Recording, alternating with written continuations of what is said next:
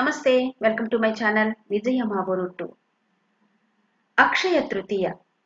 పేరుకు తగ్గట్టు అక్షయమైన విశిష్టతలకు నెలవు. ప్రతి పండుగకు ఏదో ఒక రకమైన విశిష్టత గొప్పతనం భగవత్ సంబంధమైన కథనాన్ని చెప్తున్నాయి మన శాస్త్రాలు పురాణాలు. అయితే అక్షయ తృతీయకు మాత్రం ఒకటి కాదు రెండు కాదు అనేకమైనటువంటి విశిష్టతలు గాని సందర్భాలు గాని చెప్తూ ఉంటారు. ఒక రకంగా చెప్పాలంటే విశిష్టతల సమాహారం అక్షయ తృతీయ అని చెప్పొచ్చు. మరి ఆ విశిష్టతలేంటి? ఆ కథనాలేంటి? తెలుసుకుందాం. అక్షయ తృతీయ కృతయుగాది అంటే కృతయుగ ఆరంభం. చైత్ర శుద్ధ పాడ్యమి నాడు మనం ఉగాది పండుగను ఏ విధంగా అయితే జరుపుకుంటున్నామో అదే విధంగా అక్షయ తృతీయ నాడు కృతయుగం ఆరంభమైంది అని పురాణాలు చెప్తున్నాయి. వైశాఖ శుద్ధ తృతీయ నాడు కృతయుగం కార్తీక శుక్ల నవమి నాడు త్రేతాయుగం భాద్రపద బహుళ త్రయోదశి నాడు ద్వాపర యుగం ప్రారంభమయ్యాయి. అదేవిధంగా మనం ఇప్పుడు ఉగాది పండుగ జరుపుకుంటున్న విధంగా చైత్ర శుద్ధ పాఠ్యమి నాడు కలియుగం ఆరంభమైనట్టుగా పురాణాలు చెప్తున్నాయి. సాధారణంగా అక్షయ తృతీయ అనగానే శ్రీ మహాలక్ష్మి అనుగ్రహం కోసం పూజలు చేయడం తమ ఇంట సిరి సంపదలకు కొదవ లేకుండా ఉండాలి అన్న ఉద్దేశంతో శక్తి కొద్దీ తప్పనిసరిగా ఎంతో కొంత బంగారం కొనడం లాంటి సంప్రదాయాన్ని పాటించడం చూస్తూ ఉంటాం.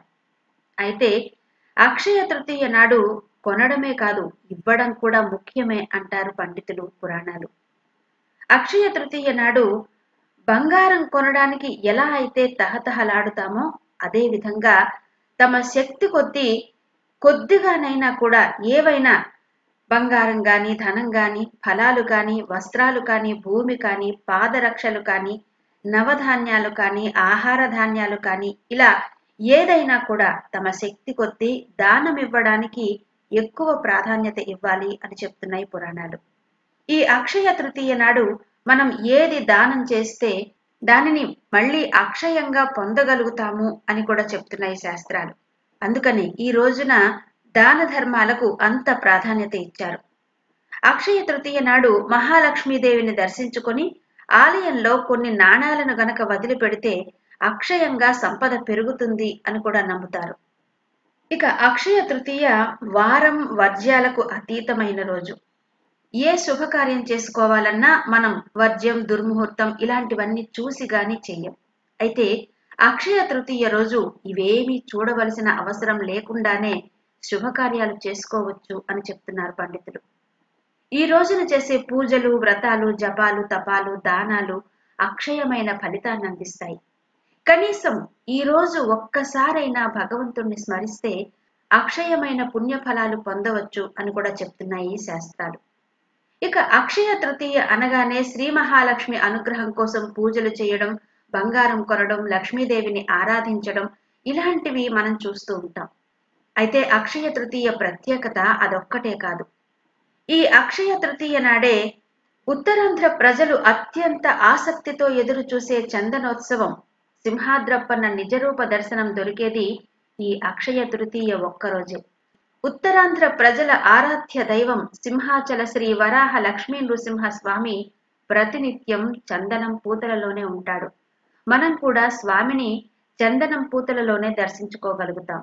కానీ అక్షయ తృతీయ రోజు కేవలం ఈ ఒక్క రోజు మాత్రం చందనం పూత లేకుండా నిజ రూపంలో స్వామిని దర్శించుకోగలుగుతాం. ఈ రోజు కోసం అశేష భక్తజనం ఎదురు చూస్తూ ఉంటారు. సూర్య భగవానుని ప్రచండ తేజానికి కూడా జంకకుండా మలమల మార్చే మండుటెండలో సైతం కాళ్ళు పీక్కుపోతున్నా గంటల తరబడి ఓపిగ్గా వేచి చూస్తారు స్వామి నిజరూప దర్శనం కోసం. కొన్ని గంటలు మాత్రమే దొరికే ఈ భాగ్యం కోసం ఎక్కడెక్కడి నుంచో భక్తులు సింహాచలం చేరుకుంటారు. హిరణ్యకశిపుణ్ణి సంహరించిన తరువాత స్వామి మహోగ్ర రూపంలో ఇక్కడ సింహగిరి మీద వెలిశాడని ఆ ఉగ్రత నుండి ఉపశమనం పొందడం కోసం స్వామికి చందనం పూత పూస్తారని ఓ కథనం.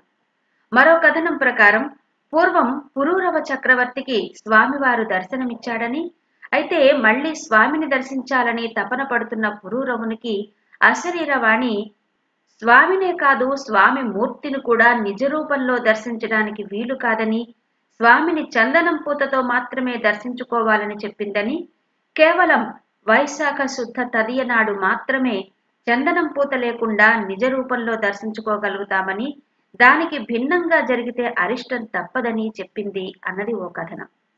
ఆ కారణంగానే అప్పటి నుండి ఇప్పటి వరకు చందనం పూతతోనే స్వామి దర్శనం జరుగుతుంది.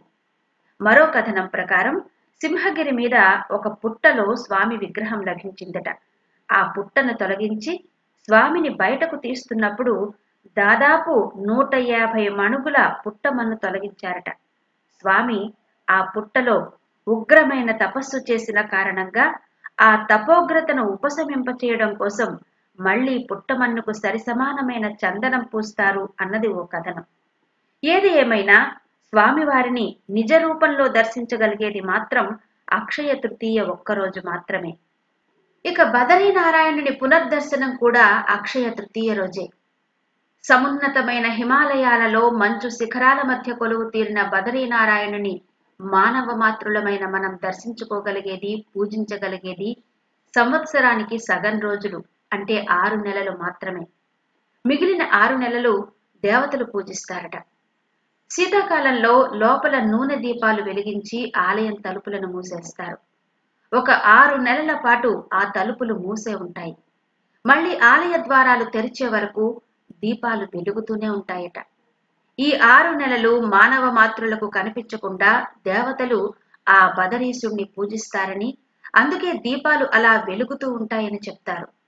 అలా దేవతల పూజాకాలం గడిచిపోయిన తర్వాత మొట్టమొదట ఆలయ ద్వారాలు తెరిచేది ఈ అక్షయ తృతీయ రోజే. అలా బదరీనారాయణుని పునర్దర్శన ముహూర్తం కూడా అక్షయ తృతీయ రోజే. ఇక అక్షయ తృతీయకు మరొక విశేషం కూడా ఉంది. శ్రీమన్నారాయణుని దశావతారాలలో ఆరవ అవతారుని జననం జరిగింది కూడా ఈ రోజే. దుష్ట శిక్షణ శిష్ట రక్షణ కోసం శ్రీమన్నారాయణుడు దశావతారాలు ఎత్తాడు. అందులో ఆరవ అవతారం పరశురాముడు. శ్రీ మహావిష్ణువు దశావతారాల్లో చిరంజీవిగా నిలిచిపోయింది భార్గవరాముని అవతారమే. రామాయణ మహాభారత కాలాల్లో కూడా పరశురాముని ప్రస్తావన కనబడుతుంది. ఆరవ అవతారుడైన పరశురాముని జననం బ్రాహ్మణ కులంలో జరిగినప్పటికీ క్షాత్రధర్మం అనుసరించి క్షత్రియుల పట్ల భయంకరుడుగా నిలిచిపోయాడు. అలా క్షత్రియుల అహంకారం ఆమూలాగ్రం అణచివేసిన పరశురాముని జననం జరిగింది కూడా అక్షయ తృతీయ నాడే. ఇక పాండవులు అక్షయ పాత్రను అందుకున్నది కూడా అక్షయ తృతీయ రోజే. భగవంతుడు ధర్మపక్షపాతి అంటారు. భక్తులు ధర్మ మార్గాన్ని అనుసరించేవారు. తాత్కాలికంగా ఇక్కట్ల పాలైన భగవంతుడు ఏదో రకంగా వారిని ఆదుకుంటాడు అని చెప్తారు. అలా పాండవులను ఆదుకోవడం కోసం శ్రీకృష్ణుడు అక్షయ పాత్రనిచ్చాడు. పాండవులు ఆ అక్షయ పాత్రను అందుకున్నది కూడా అక్షయ తృతీయ నాడే. ఇన్ని రకాల విశిష్టతలు కలిగి ఉన్న ఈ అక్షయ తృతీయ వివిధ ప్రాంతాల్లో వివిధ రకాల పేర్లతో ప్రాధాన్యత సంతరించుకుంది. కేరళ రాష్ట్రంలో ఈ పర్వదినాన్ని విషు అన్న పేరుతో జరుపుకుంటారు. తమిళనాడులో శ్రీ మహాలక్ష్మి పూజతో పాటు ఇష్టదేవతల పూజలు కూడా చేస్తారు. ఉత్తర భారతదేశంలో శ్రీ లక్ష్మీనారాయణులను పూజిస్తారు. ఈ సందర్భంగా గంగా స్నానం చేసి హృషికేశ్లో భారత మందిరంలో నూట ఎనిమిది ప్రదక్షిణలు చేస్తారు. ఈ సందర్భంగా త్రివేణి సంగమంలో స్నానం చేస్తే అన్ని దోషాలు పాప ప్రక్షాళన జరుగుతుందని ఒక నమ్మకం. ఇలా ఎన్నో విశేషాల సమాహారమే అక్షయ తృతీయ.